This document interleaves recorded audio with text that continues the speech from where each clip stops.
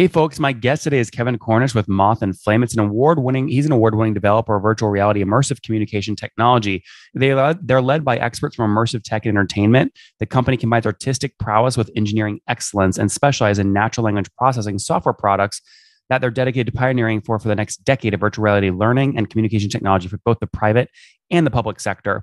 All right, Kevin, you ready to take us to the top? Let's do it. So that was a long way of basically saying you guys are building great VR experiences, training experiences for B2B clients, right? Folks like uh, Accenture.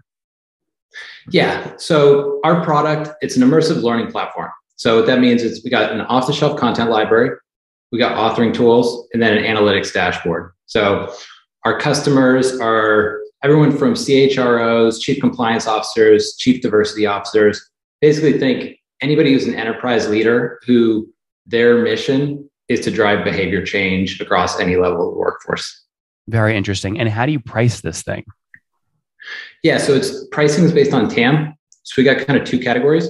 Uh, one is um, on a per experience base basis. So these are for things where the, the TAM is smaller, smaller user base. So that's at a 4,500, 6,500, or 8,500 a month, depending on um, kind of the different different features that the customer needs.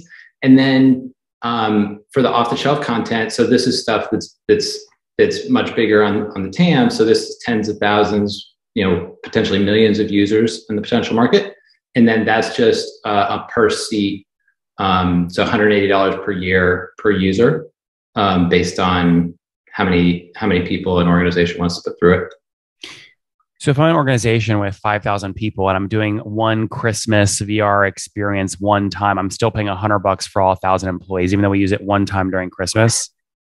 Yeah, because what we want, we, we think about behavior change, and behavior change happens over time. And this really goes to kind of what's happening in the world of enterprise learning today, which is there's been an LMS business for the last decade which is incredibly effective at delivering the right content to the right people at the right times. But the content that's being del- delivered is e learning, which is miserably ineffective. So we're talking about something that has a 20% effectiveness rate. So what, what our customers are doing when they're buying the product, they want to buy the behavior change.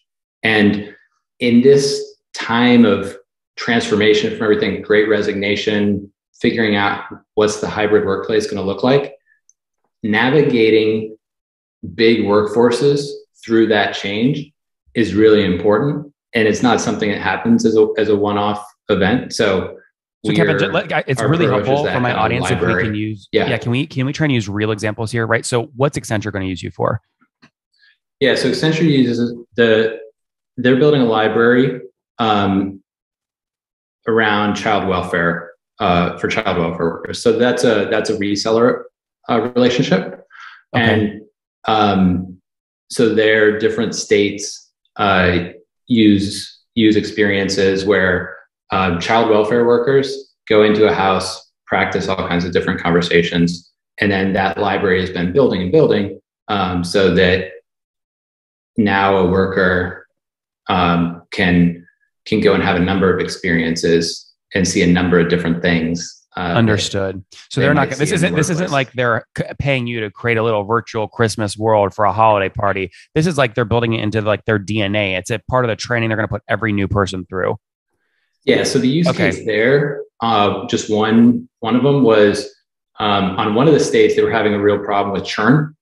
So fifty percent of um, child welfare workers quit within the first twelve months.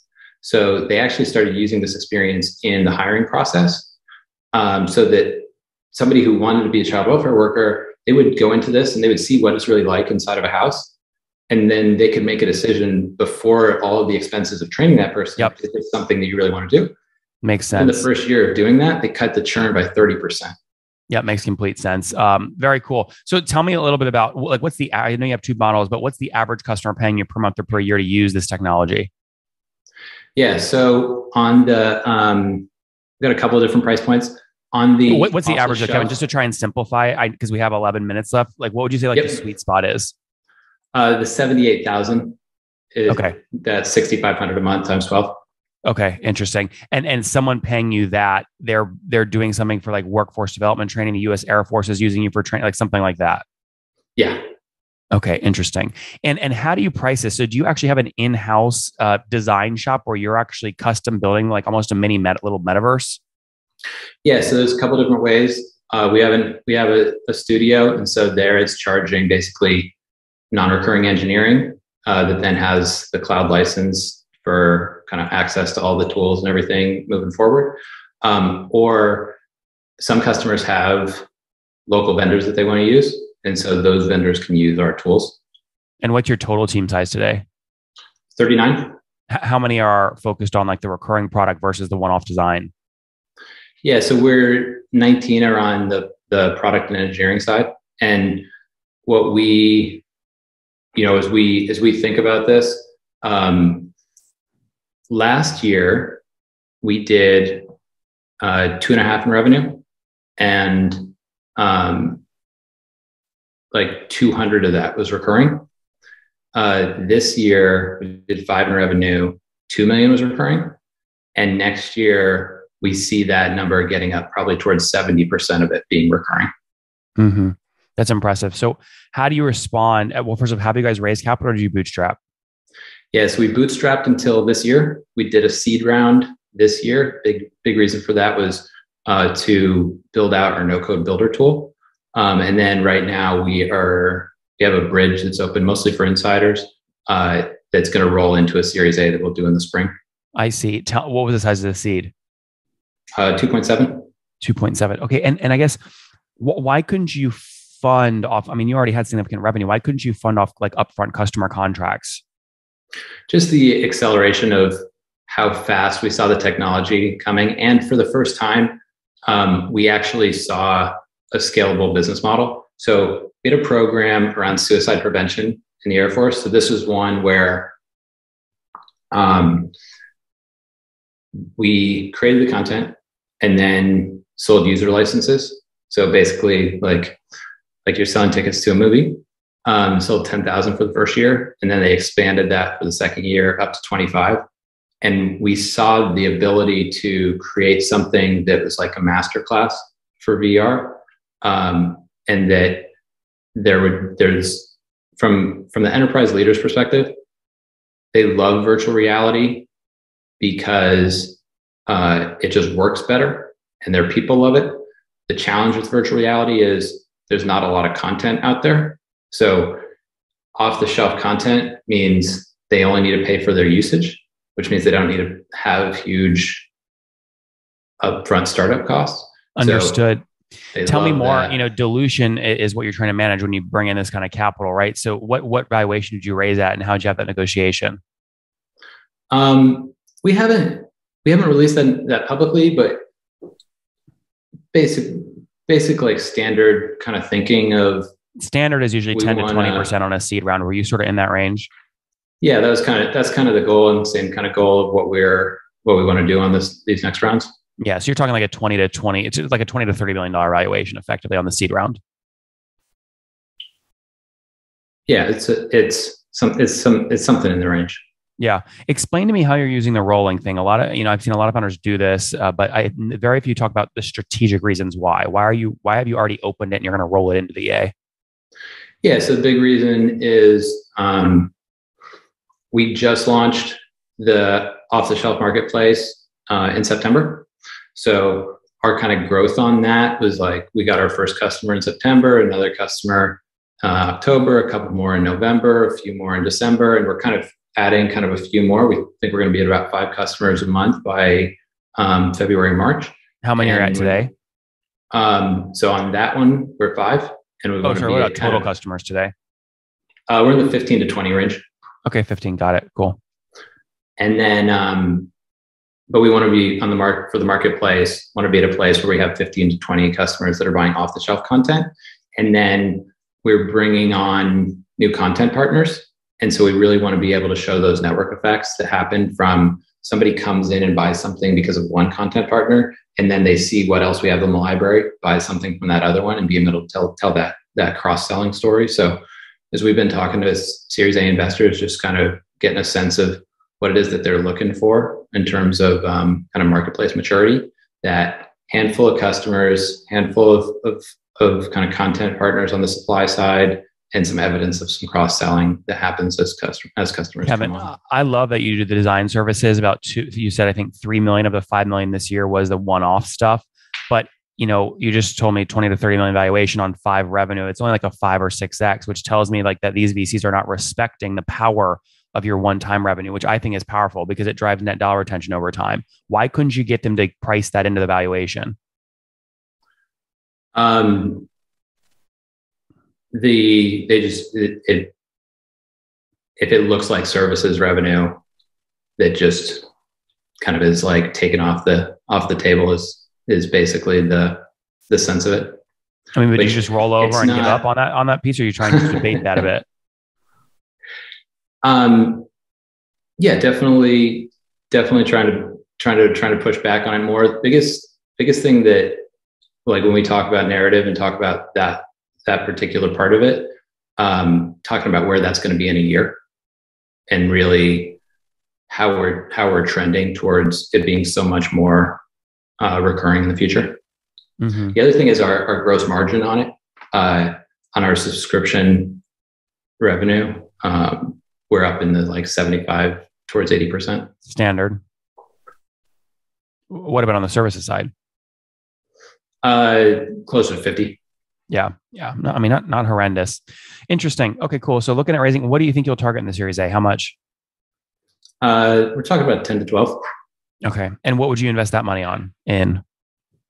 So we got some interesting stuff on um, on the engineering side around synthetic media and in the natural language processing. So, like when we think about like long term, what the tool can do, if you think about uh, if J.J. Abrams wanted to make Westworld what tool would he need to you know take the robotics aside but just kind of for all of those conversations and how do you create all that content at scale so there's the uh, dialogue paths that's the natural language processing part of it and then there's what do you see on the faces which is the synthetic media part so we're i would say that we are at like um, solid working prototype on those things and then these next rounds of funding will really be to productize that because we really want to be in a place where um, thinking about if we are Squarespace for VR in 2007, like what does that next decade look like? And at what point can that stuff really go to self When did you launch? Did you launch in 2007? Uh, no, no, thinking about where space, Squarespace was in 2007. When did you launch the business? So launched it in 2015.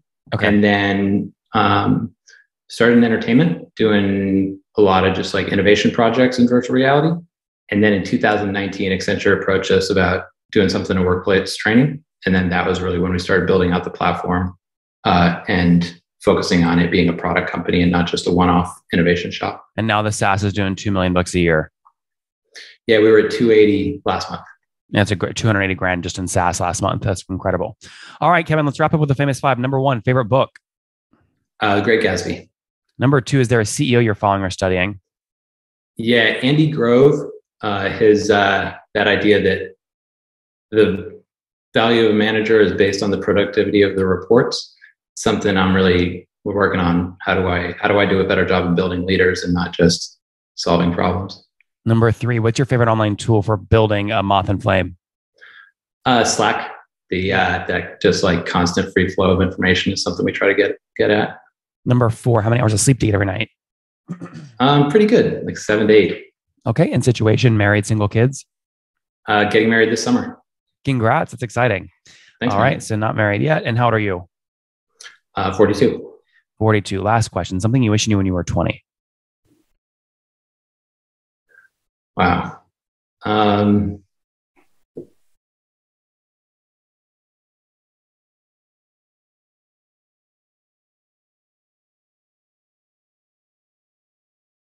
I think when I was when I was younger, I was much more concerned with people pleasing uh, and, and worried about what people thought of me. And as I got more confident in myself, felt a lot more liberated in life. So feeling comfortable that that telling myself that that time would come and it, everything would be okay. Guys, mothandflamevr.com launched in 2015 as an agency. Accenture said, hey, build us a tool we can use over and over again for training purposes. They did. Now their SaaS business this year will do the total business 5 million. SaaS billion uh, business did 280,000 a month just last month. You can calculate the run rate. They're scaling nicely. 2.7 million raised, sold 10 to 20% of the business in the seed round. Now looking at doing a 10 to 12 million dollar series A to continue developing these synthetic materials and more of the virtual worlds, aiming to be the sort of the much more updated version of what Squarespace was for websites back in 2007. But they're doing that for the VR world world, hopefully in 2022 and beyond. Kevin, thanks for taking us to the top. Awesome, man. Thanks so much for the time. One more thing before you go. We have a brand new show every Thursday at 1 p.m. Central. It's called Shark Tank for SaaS. We call it Deal or Bust.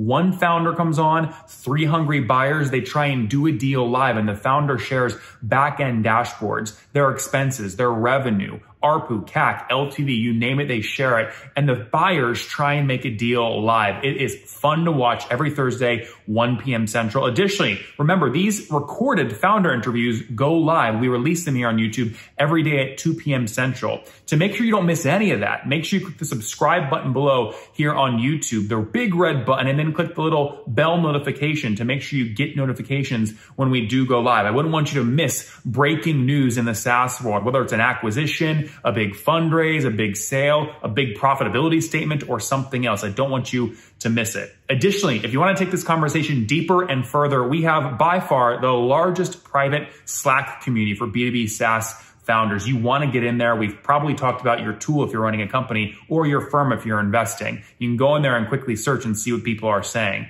Sign up for that at nathanlatka.com forward slash Slack. In the meantime, I'm hanging out with you here on YouTube. I'll be in the comments for the next 30 minutes. Feel free to let me know what you thought about this episode. And if you enjoyed it, click the thumbs up. We get a lot of haters that are mad at how aggressive I am on these shows, but I do it so that we can all learn. We have to counter those people. We got to push them away. Click the thumbs up below to counter them and know that I appreciate your guys' support. All right. I'll be in the comments. See ya.